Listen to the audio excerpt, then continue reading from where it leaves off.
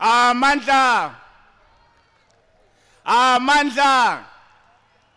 Long live the struggling working class, long live. Thank you very much, uh, Chairperson. The General Secretary of CITU, the President of CITU, the leadership of CITU in different levels. On behalf of WFTU,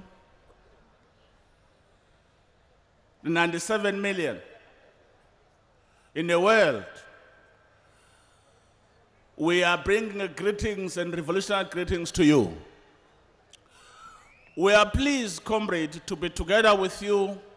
We are pleased to experience and witness the powerful organization of your trade union and your commitment.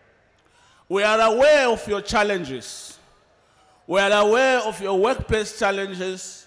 We are aware of your political challenges. And we're saying to you, the solution to those problems is the unity of workers. In South Africa, we're using a slogan that says, any injury to one is any injury to all. This is a slogan for solidarity. Solidarity must not be experienced at the international level. Solidarity must start at home. The working class of India must pay solidarity to one another. When other factory on strike, the other factory must support those on strike in solidarity. Comrades, you may be white in color, you may be purple in color, you may be blue in color, you may be yellow in color, you may be black in color, but you are a worker. Mhlawumbe, maybe you are a Christian, maybe you are a Muslim, maybe you are a Hindu, but what remains, you are a worker. You're Mus- you're, you being Muslim, for you being Hindu, for you being Christian, it doesn't mean that when boss exploit you, they exploit you different on difference of your religion. They exploit you exactly the same. So, comrade, let's debate. There is no political organization in the world that can obtain power if that organization is not voted for by workers. How is it possible that you have voted for racist organization, that you voted for people who want to divide you? I want to suggest to the Communist Party of India, and I hope that the leadership of Communist Party of India is present, that your relationship with working class must or not taking place only when there's a voting period. Your relationship with working class must always be the priority. Because your responsibility politically is to defend the interest of the working class. That is your consequence. That is a class that must occupy your care. How do we explain this, comrade? That in our union were millions of members. But when the voting come, our party only does not even make 2%. What happened to the membership of our unions? Is it because you are Hindu? Is it because you are Muslim? Is it because you are Christian? What about your class? You should not vote for religion. You should not vote for Christian. But you, when you do so, as a class, that organization of the working class will protect your interest. Comrade, I am sorry if this is taboo in India.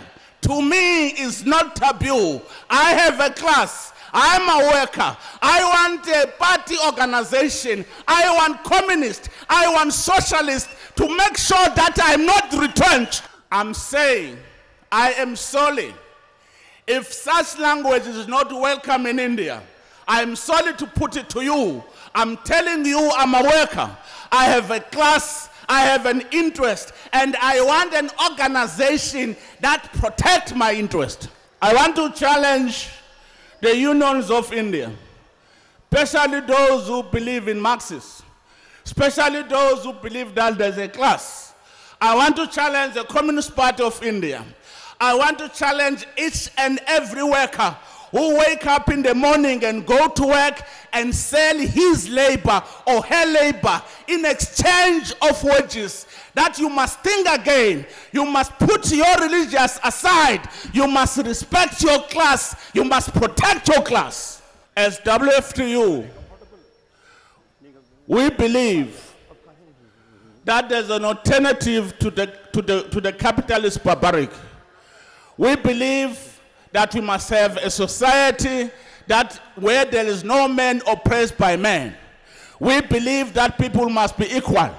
We believe that workers must be able to control the economy. We believe that workers and economy belongs to them. And we believe that education must be free. We believe that health must be free. For that to happen, you need a working class organization. And so far, we have not seen any other working class organization except communist.